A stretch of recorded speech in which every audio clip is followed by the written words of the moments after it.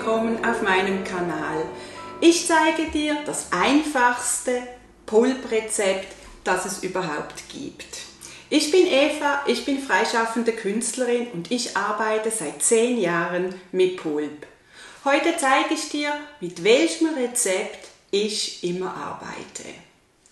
Fangen wir also gleich an. Mit was für Materialien kannst du Pulp herstellen? Im Grunde genommen brauchst du nur zwei Materialien. Einmal ein Tapetenkleister oder Fischkleister. Welchen du nimmst, spielt überhaupt keine Rolle.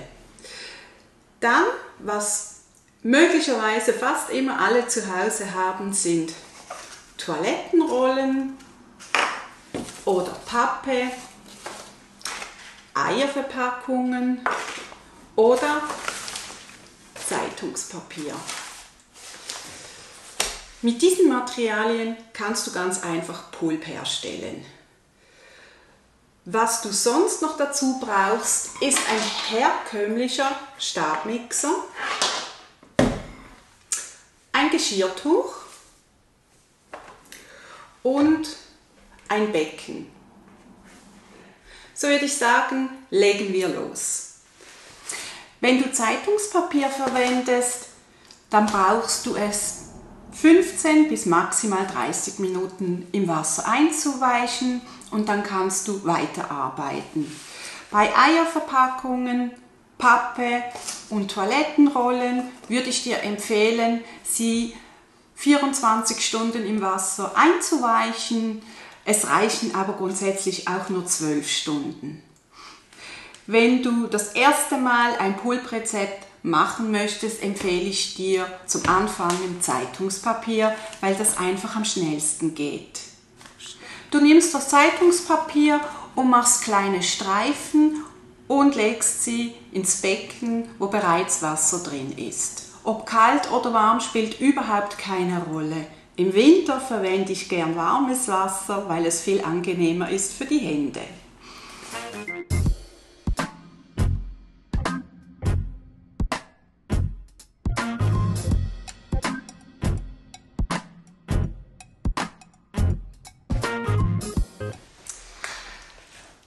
Zeitungen, wie gesagt, ins Wasser.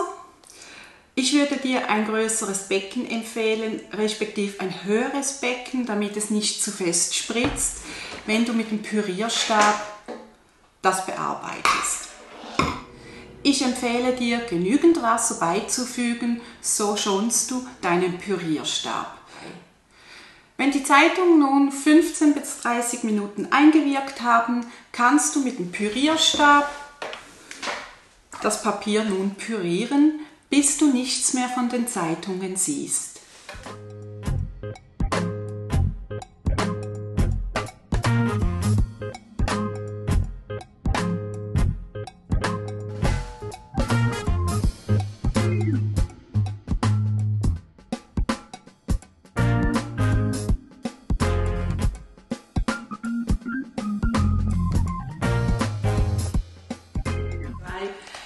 Wenn du die Zeitung nun püriert hast, geht es weiter. Du nimmst dieses Geschirrtuch. Ich empfehle dir, mach's über den Waschtrock, das geht am einfachsten. Ich nehme hierfür jetzt das Becken zum Zeigen. Du nimmst das Geschirrtuch und die Zeitungen, die du püriert hast, kommen ins Geschirrtuch rein. Dann nimmst du das Geschirrtuch zusammen. Schau, dass du alle Öffnungen in der Hand hast. Und nun trennen wir das Wasser von der Zeitung.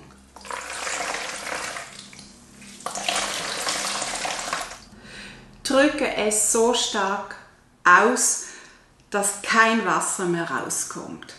Wenn du nicht so viel Kraft in den Händen hast, dann nimm kleinere Portionen. Dann machen wir das Geschirrtuch auf. Und nun haben wir das Grundmaterial, was wir brauchen zum Arbeiten. Das hier nennt man jetzt Pulp. Das ist Papierzellulose und das ist einfach der Übernahme Pulp ist in der Regel Papierzellulose. Du nimmst wieder ein Becken, machst die Pulp rein und nun eine kleine Fleißarbeit, du zerkrümelst die Pulp. Je kleiner, umso einfacher ist es für dich, danach weiterzuarbeiten. Wenn du deine Pulp klein gemacht hast, kommt nun der Kleister rein. Ich empfehle dir einen Kleister, der eine hohe Klebkraft hat. Welchen du aber nimmst, spielt keine Rolle. Schau, dass der Kleister die Konsistenz hat wie von einer Creme. Wenn sie zu nass wird, wird auch deine Pulp wieder nass und es ist viel schwieriger damit zu arbeiten.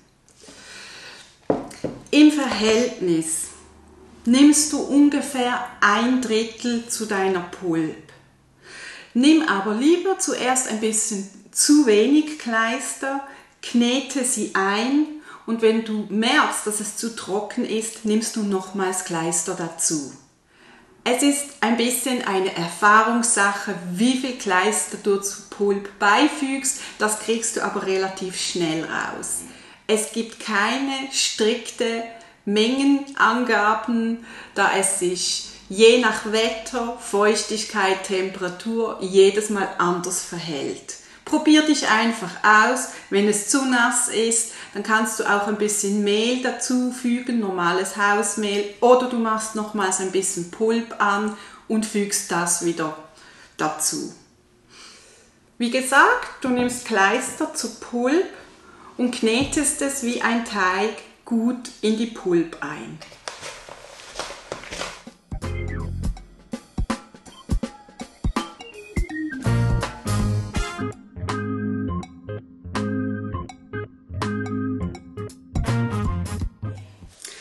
Wenn du alles richtig gemacht hast, dann solltest du so eine Kugel Pulp haben. Das ist das Grundrezept. Es gibt noch andere Möglichkeiten. Man kann noch äh, andere Sachen beifügen. Wenn dich das interessiert, dann schau auf meinem Kanal nach. Wenn du die Pulp feiner haben möchtest, dann gehst du einfach nochmals mit dem Pürierstab rein und pürierst so lange, bis sie fein ist. Aber pass auf, wenn du nochmals mit dem Pürierstab reingehst, dann gib nochmals ein bisschen Kleister dazu. Das ist das einfachste Rezept, Pulp herzustellen, damit du damit modellieren kannst.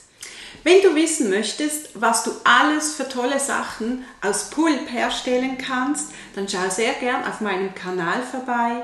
Da findest du ganz viele Tipps und Tricks und Ideen, was du alles aus Pulp herstellen kannst. Ich habe über 140 Videos und würde mich sehr freuen, wenn ich dich zum nächsten Video begrüßen dürfte. Und wenn du dich noch mehr mit dieser Technik auseinandersetzen möchtest, dann habe ich hier ein Buch, das habe ich geschrieben, sehr wenig Text, sehr viel Bilder und zehn Inspirationen, alle Tipps und Tricks, wo drin sind, Sachen, die passieren können, wie du damit umgehst und vieles mehr. In diesem Sinne würde ich mich sehr freuen als kleine Gegenleistung, wenn du ein Like hier lässt oder vielleicht sogar meinen Kanal abonnierst. Ich wünsche dir viel Spaß, sei kreativ und tob dich aus mit dieser tollen Technik. Viel Spaß dabei. Tschüss.